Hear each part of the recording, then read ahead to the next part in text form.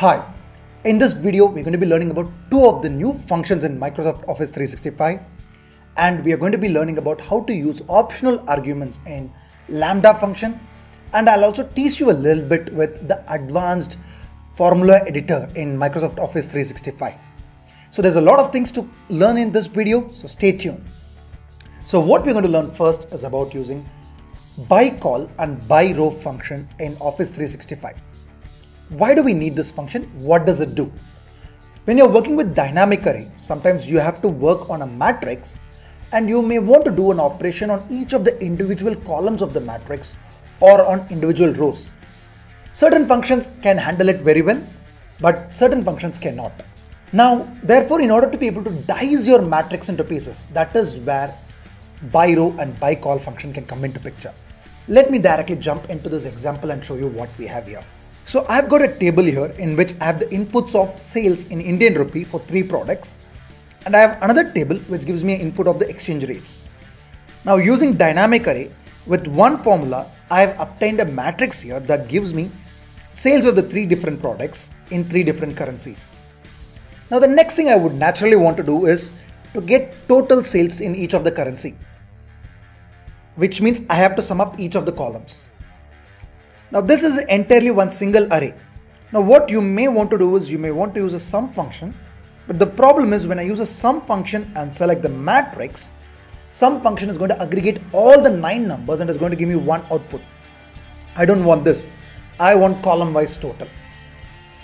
Now in that case can't I simply use a sum function and sum up each of the columns individually? You can but the problem is that then we lose the advantage of dynamic array.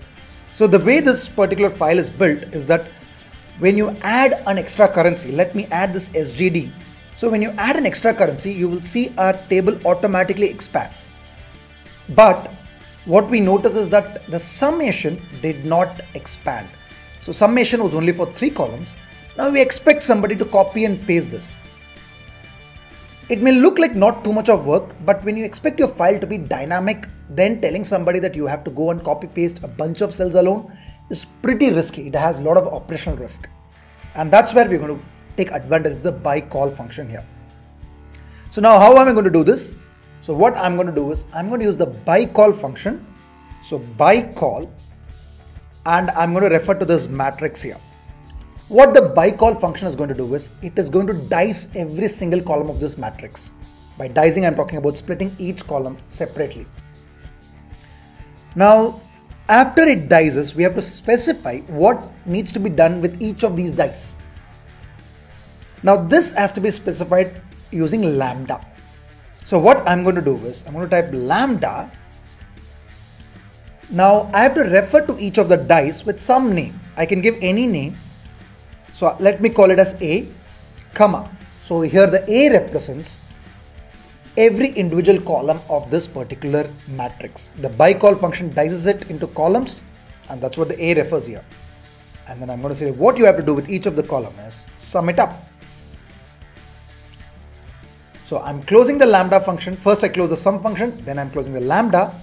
Then I'm going to close the ByCol function, press enter you notice here our single formula automatically gave answer for all the four columns.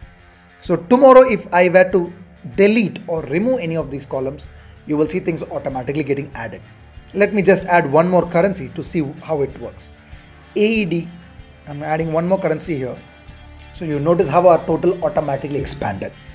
So ByCol function we saw helped us dice an array into different columns and then do operation on each of the column and produce a dynamic array. Now let's learn by row function. A by row function does almost very similar to what ByCol does except that instead of dicing by column, it dices by row. So let me show that to you with this example I had on top. A very similar setup except that it's now transposed. I have currencies top to bottom and I have products left to right. So what I'm going to do is I'm going to get summation of each of the rows. So equals by row and I'm going to select this matrix which is a dynamic array d3 hash comma lambda a comma summing. So as you can see here it's very similar to what we did earlier only difference is instead of ByCol I'm using by row So by row slices or rather dices my matrix by each rows. So press enter and I've got the answer. Now we learn to work with by row and by column, but isn't it a very lengthy function to try? I mean, just to get a summation, if you have to write such a long function, it's a little too much, isn't it? So what can we do here? And here is where the smarter way of working comes in. So what I'm going to do is, I'm going to create a custom function using lambda, which will call this by row function. Let's see how it's done. So what I'm going to do is, for now let me type it here in a cell and then we'll copy paste it. So I'm going to type lambda and let me give a variable name here rng. So this here indicates that my user will give a range as an input and what are we supposed to do? By row, take that range. So instead of specifying that range manually, here I'm saying, you know, I'm using a lambda function and inside the lambda I'm using the by row function, comma, and next thing I'm going to do is I'm going to put a lambda again.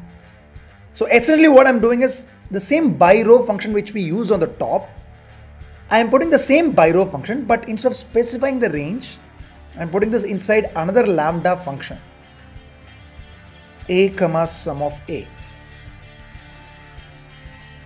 So I am closing the sum function, then the lambda function, then the by row function, then the outer lambda function. Now a lambda function is not going to run as it is. We are going to get a calc error. Let me copy this. I'm going to save this as a custom function. So for that I have to go to formulas, define names or a name manager and I'm going to click add. So let me call this a name as sum row equals let me copy and paste this lambda command that I gave here. So what I've essentially done is I've just copy pasted this lambda function that I typed here.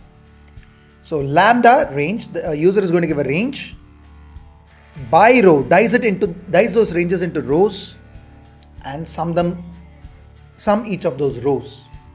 That's exactly what we have given here as command. So now let's use this. So instead of a lengthy by row function, what I'm going to do is I'm going to say equal sum row, select this array, close it, and we've got the answer. Now I'll take it through one more smarter things to do because if you want to implement this with lambda, you're going to have a sum row function and you also have to have another sum column function.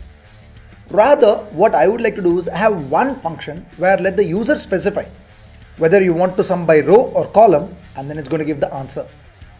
For this, I'm going to combine lambda with switch function and I'm going to use the advanced editor tool here. The advanced formula editor tool is going to be available in my home tab.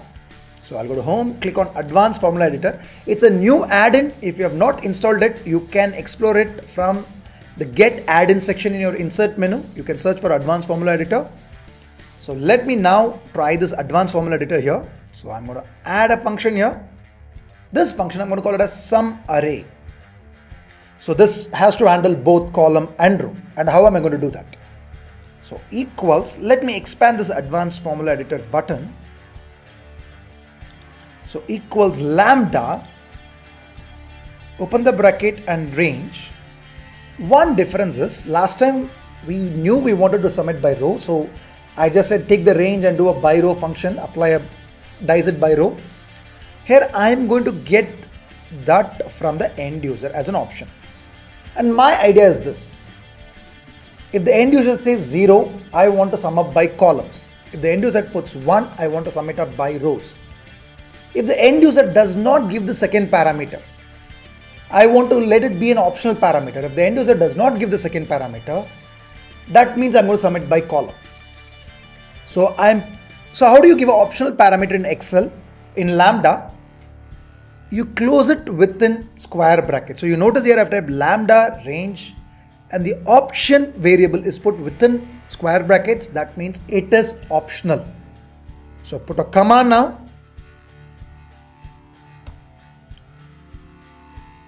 you know the beauty of this advanced editor is I can use the tab buttons to align it things are much neater here so I'm going to now say okay the user is going to give you a range and it's going to specify an option.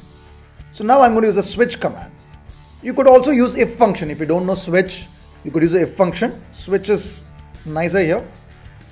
So switch option. So that means we are evaluating this expression option. Now what a switch function does is based on the value of option, I can tell what needs to be done. So if the option is 1 or rather 0, if it is 0 what do I want? I want ByCol, take the range. Keep in mind this spelling for range should be exactly same as what name you have used in the top lambda. So I'm going to say by range, by column range. So which means dice that range by columns. And inside that I'm going to type lambda of a comma sum a. This is precisely what we did earlier. So let's go to the sum function, then the lambda, then the by call. Now I'm going to next specify what if it's 1. It is 1, then do a by row, open the bracket, range RNG, that's the same spelling. Spelling has to be correct here once again. Lambda, open the bracket, A, comma, sum. Now just to let you know, in this case, I, I need not have put A. I could have put B because keep in mind, the ByCol is a different lambda, the by row is a different lambda. Lambda B, comma, sum of B. So now sum function is closed, lambda is closed, and the by row is closed. So next what I have to do is close the switch function, which is already closed, and let's close the lambda function. This is also closed. Excel is indicating some error here. Oh, I missed a comma. So that is why it's this advanced formulator is hinting at an error. You know, that's the beauty of this. If you were directly typing these lambda inside a cell, you wouldn't be able to figure out these syntax errors. Here it could point, it pointed out the error to me and I could fix it. So let me click add. So we have created the sum array function, but it is not available in the names yet. So you have typed it, but the sum array is not available here. So what you're supposed to do is click on the synchronize button. You see this folder with a refresh button. Click on that. Once you click on that, it synchronizes, which means the sum array will now be available as a user defined function. Let me click OK. And let's see this. Now let's see this working here. I'm going to call both of them using the same function. So equal sum array d3 hash this time I wanted by row so comma 1 so I've got summation by rows in the other setup that I have here which is a horizontal setup I want the summation by column so I'm going to put sum array select the array. I can type comma 0 but since it is optional since we mentioned it as optional even if we don't give it's automatically going to give us answer by column. So these two functions, by row and by column, makes our life very easy when you're working with dynamic array, especially when you generate a matrix. It makes our life a lot easier uh, because earlier I had to use complex matrix multiplication if I had to get average by column or summation by column. But this by row and by column functions makes it much easier for us. Hope you learned something useful today. I'll be coming up with more videos on Lambda function. If you want to stay ahead of the curve, do subscribe to this channel and also check out our training programs. We do come up with a lot of training programs with latest cutting edge techniques with dynamic arrays and lambdas. So do visit our website www.profectusacademy.com and subscribe to our newsletters and blogs. Subscribe to this YouTube channel as well. Uh, thank you very much and take care and see you next time. Until then, bye bye.